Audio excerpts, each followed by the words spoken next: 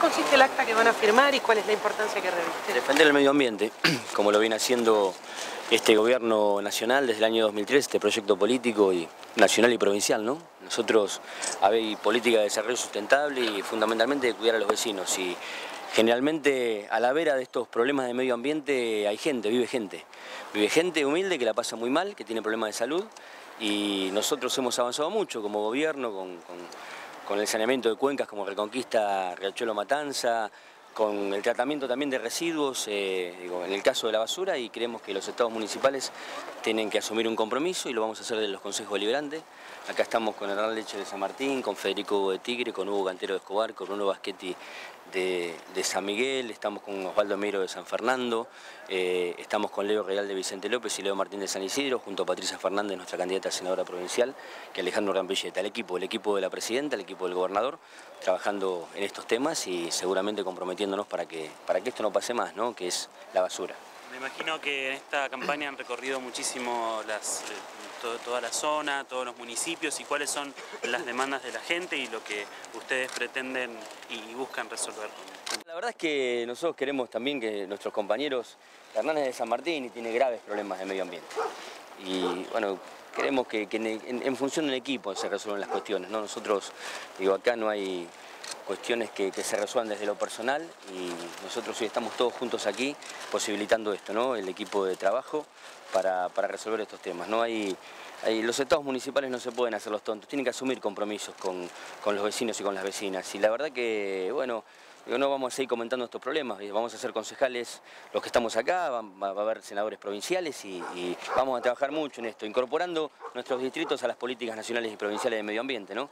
que, están dando resultados resultado y que funcionan muy bien. Es muy triste ver los chicos con problemas de salud, con problemas de asma, con problemas de, granos en la cara, con problemas de respiración, Así que la verdad que creo que nuestra responsabilidad es cuidar a nuestra gente.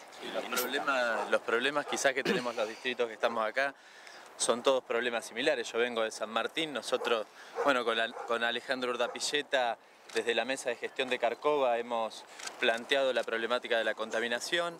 Eh, ahí la, UNSAM, la Universidad de San Martín, ha, llevado adelante este, una investigación y hemos encontrado cosas realmente muy graves. Lo que sucede también es que en los barrios más humildes el tema de la basura es un problema porque ni siquiera se la atiende.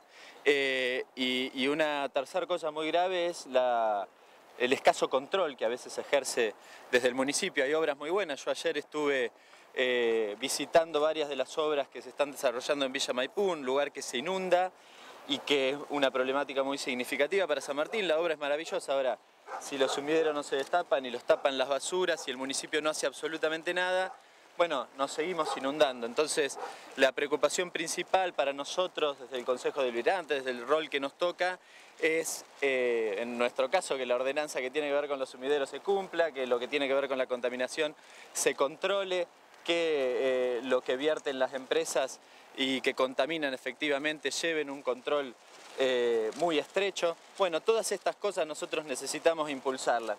Venimos de municipios además que que esta tarea no se viene ejerciendo. Así que la verdad que nosotros reafirmamos hoy el compromiso de hacerlo con toda la fuerza en cada uno de nuestros distritos. Federico Hugo, en Tigre también hay una situación muy particular, que es que se muestra en Las Palmeras, el casi Miami, y después hay muchos barrios en el Tigre Profundo que se inundan, que tienen problemas de servicios, de basura, eh, y que no se atienden. Es el Tigre que se oculta.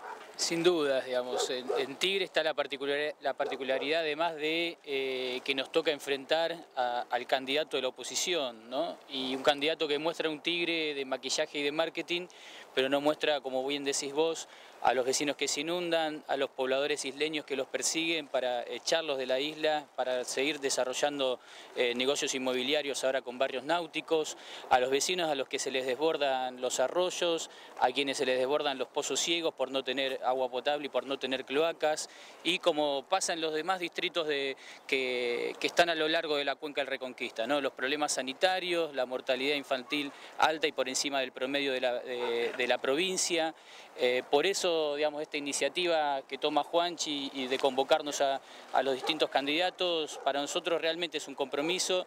Venimos trabajando desde antes de ser candidato cada uno de nosotros en, nuestro, en nuestros barrios, en nuestros distritos. El tema ambiental es un gran problema, atraviesa 18 distritos la cuenca del Reconquista en toda esta zona más de 4 millones y medio de, vecinos y vecinas que necesitan soluciones, y no solo de, mejoramiento y de saneamiento de, la cuenca, sino vinculado a eso la urbanización, vinculado a eso una mejor vivienda, vinculado a eso mejor sistema de salud, eh, como decíamos, agua potable y cloaca, que el único que está desarrollando obras en ese sentido es el Gobierno Nacional.